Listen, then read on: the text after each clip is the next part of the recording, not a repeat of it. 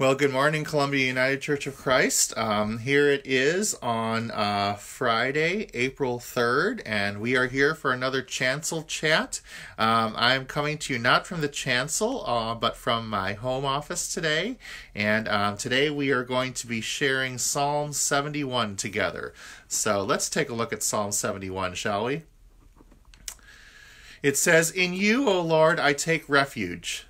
Let me never be put to shame. In your righteousness, deliver me and rescue me.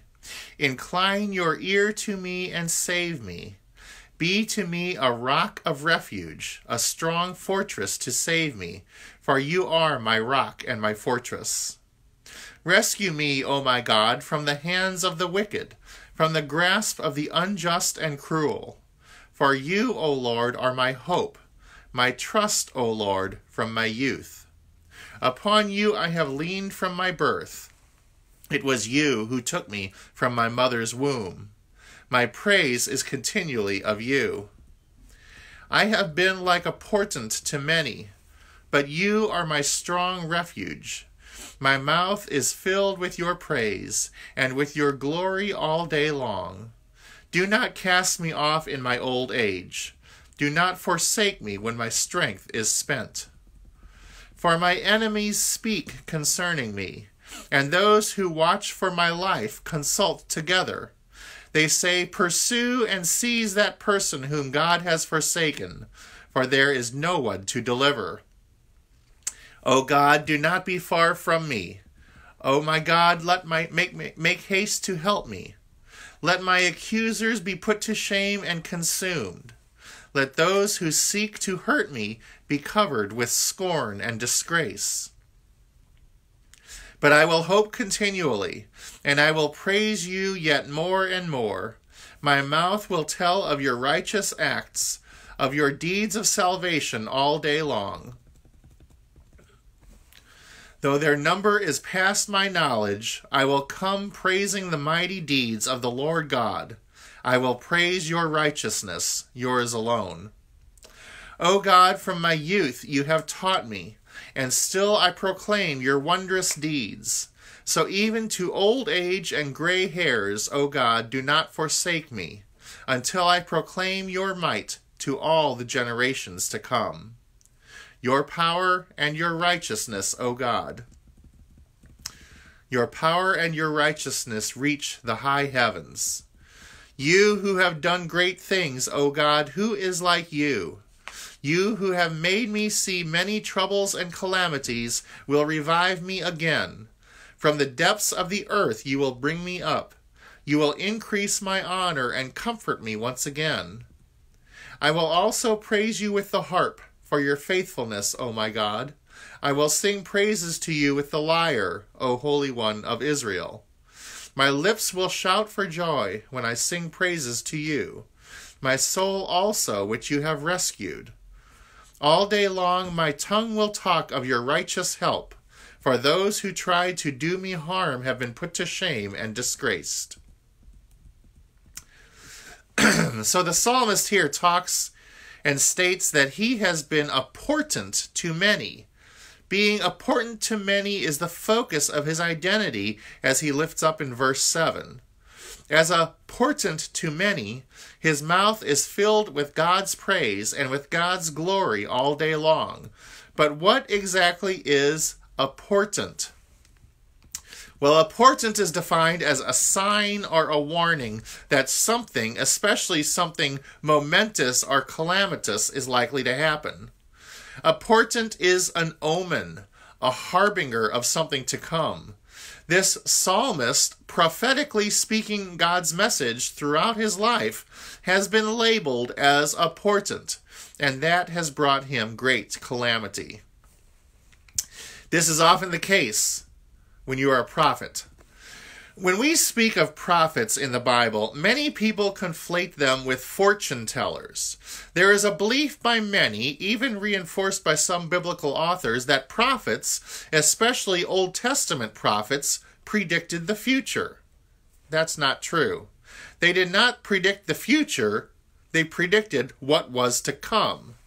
Now, I know that sounds like the same thing. They did not predict the future, they predicted what was to come.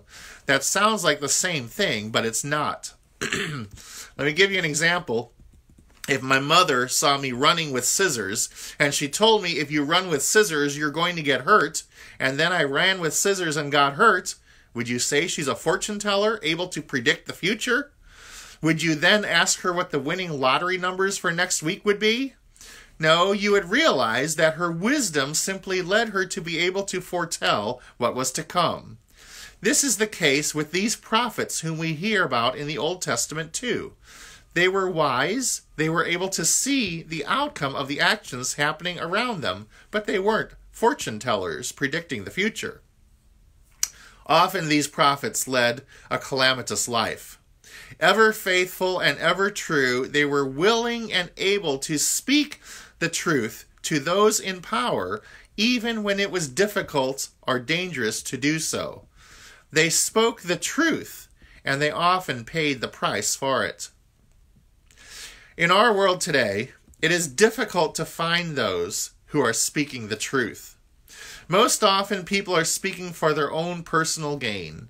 They speak with partisan agendas or speak to enhance their own credibility, power, or fame, or sometimes they just speak because they like to hear themselves talk. This is just the opposite of our Old Testament prophets. Their speech is most likely to diminish their safety, to diminish their security or credibility, but they speak anyway because they know that their speech is for the good of the people and their speech is to God's greater glory. One moral arc that I have witnessed in my lifetime is speaking about recycling to help save the environment. When I was a young child, my family recycled, but we were one of the few families that did. My father was very interested in recycling and talked about it, but was sometimes berated by others for his practices. This was the case with others who spoke about recycling in the public arena. They were heckled as well, called extremists, and disenfranchised for their views. But today, recycling is part of our everyday life, and those who spoke prophetically of it and were denounced are now vindicated by our current cultural climate. One good thing that comes out of this time of social isolation is the healing of our planet taking place. For years, climate scientists have warned us about climate change and have been scoffed by others. We have been told that if we reduce our carbon emissions, we can reverse the course of the damage being done, but that science has been disenfranchised by those who are afraid of losing their perceived power. But today in our world, car- with carbon emissions cut drastically this past month or more, we already see healing taking place. Our planet is beginning to heal to a degree. When we emerge from this time of self isolation, perhaps we can listen more closely to those who speak prophetically about climate change, because this crisis has certainly vindicated their prophetic message. This psalm today is a prayer for help, prayed as a way of seeking refuge with God. It is composed of repeated petitions interwoven with declarations of trust and descriptions of trouble. It begins with petitions for deliverance, followed by declarations of trust. Although it is a prayer for help, the psalmist asserts their trust in God, so much trust that confidence in God's provision outweighs the psalmist's concern with trouble. They express their troubles, but they are confident in God's deliverance, in God's salvation. Do we have the confidence of the psalmist? Are we confident that God is with us even in the midst of our troubles? Do we realize that God is here even in the midst of global pandemic, making the most of our time and helping us through this suffering? God is with us, giving us strength. God is with us, giving us hope, as God ever has been. Let us pray. Creator God, as we hear the words of this psalmist speaking of trouble, but confidently speaking of their faith in you, We pray that we might be able to have this same expression of faith, that we might be confident in who you are and your presence with us, even in the midst of our troubles.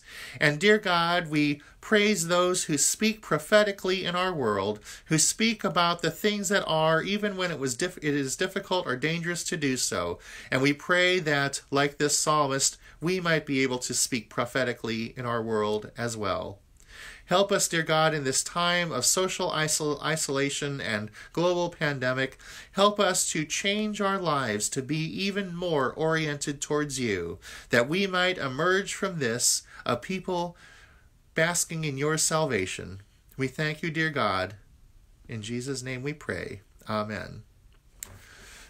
well, thank you for joining me for Chancel Chat. Um, tomorrow we are going to look at Psalm 72 and um, talk more then. So uh, don't forget, worship this Sunday will be live streaming on the Columbia United Church of Christ website. So be sure to tune in at 10:30 for that. All right, we'll see you tomorrow.